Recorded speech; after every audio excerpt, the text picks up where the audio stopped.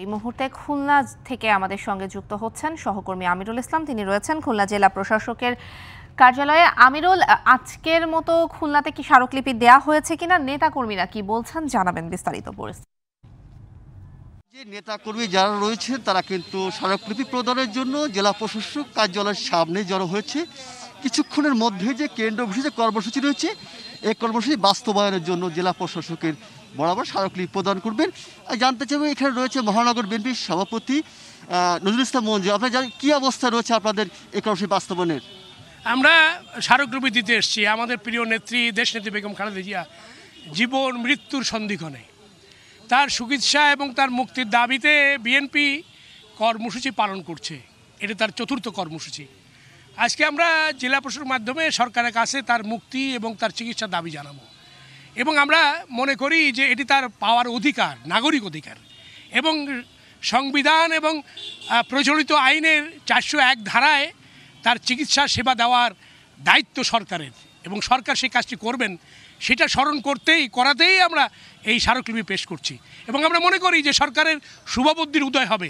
বেগম খালেদা জিয়াকে বা তার মৃত্যু নিশ্চিত করার জন্য সরকারের এই এই যে অবহেলা, এই অবহেলা সরকারকে মানে হত্যা কাণ্ডের পর্যায়ে নিতে পারে। আমরা সরকারকে হুঁশিয়ার করে বলতে চাই যে বেগম খালেদা জিয়াকে অবিলম্বে চিকিৎসা পাঠানো সরকারের দায়িত্ব এবং সরকার যেন কোনো রকম বেগম জিয়ার চিকিৎসা নিয়ে প্রতিনিধি রাজনীতি না করেন এবং তার চিকিৎসা নিয়ে যেন আওয়ামী লীগের কোনো নেতা, কোনো মন্ত্রী যেন কটুবাক্য ব্যবহার না করেন, তাহলে পরিস্থিতি স্বাভাবিক থাকবে না। বেগম জিয়ার মুক্তি না হওয়া পর্যন্ত আন্দোলন চলবে। প্রয়োজনে বেগম জিয়ার স্বাস্থ্য, সেবা এবং তার চিকিৎসা এবং তার মুক্তির দাবিকে সরকার সরকার পতনের আন্দোলনের প্রয়োজনে রূপ দেওয়া হবে। আমরা সেভাবেই তৈরি হচ্ছে। এবং বিএনপির নেতারা দাবি করছেন যেটা, এটা মানবিক বিষয় এবং যেহেতু দীর্ঘদিনের দায়িত্ব ছিলেন বিএনপির চেয়ারপারসন সরকার রাষ্ট্রীয় দায়িত্ব পালকের যার কারণে মানব বিষয়টা বিবেচনা করে সরকার প্রয়োজনীয় ব্যবস্থা নেবেন। এমনটাই প্রত্যাশা করছেন এখানে স্মারকলিপি দিতে আসা নেতাকর্মীরা। জি, আমরা খুলনার পরিস্থিতি জানছিলাম, বগুড়া জেলার পরিস্থিতি জানব।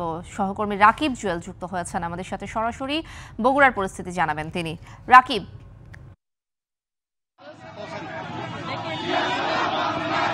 অপলা আপনি দেখতেই পাচ্ছেন যে আমি আসলে বগুড়া জেলা প্রশাসকের কার্যালয়ের একেবারে প্রধান ফটকের কাছে রয়েছি।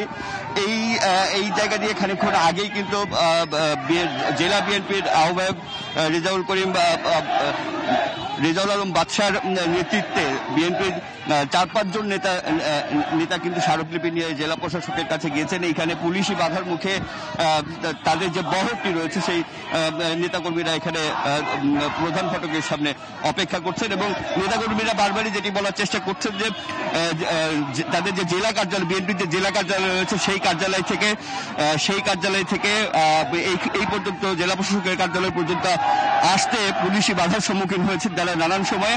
কিন্তু আমরা জেলা পুলিশের পক্ষ থেকে যেটি জানতে পেরেছি, আসলে পুলিশি বাধা নয়, শৃঙ্খলা রক্ষার্থে আইন শৃঙ্খলা পরিস্থিতি নিয়ন্ত্রণে রাখতে পুলিশ সতর্ক অবস্থায় রয়েছে এবং পাশাপাশি জেলা প্রশাসকের কার্যালয়ে এখন যেহেতু করোনার একটা বিষয় রয়েছে, সেই কারণে একটা সীমিত সংখ্যক মানুষকেই তারা জেলা প্রশাসকের কার্যালয়ে প্রবেশ করতে দিয়েছেন। নানান দাবির এবং সবচেয়ে গুরুত্বপূর্ণ যে বিষয়, তারা বারবারই বলার চেষ্টা করছেন যে, এই দফায় যদি বেগম খালেদা থেকে মুক্তি এবং তার উন্নত চিকিৎসার ব্যবস্থা বিদেশে পাঠানো না হয়, তাহলে আরও কঠোর আন্দোলনের দিকে তারা যাবেন। এই ছিল অপরাধ শেষ আমার সবশেষ আমার কাছে বগুড়া থেকে খবর। দেশব্যাপী চলমান বিএনপির কর্মসূচি সম্পর্কে সবশেষ তথ্য জানাতে যুক্ত হয়েছিলেন আমাদের সহকর্মীরা।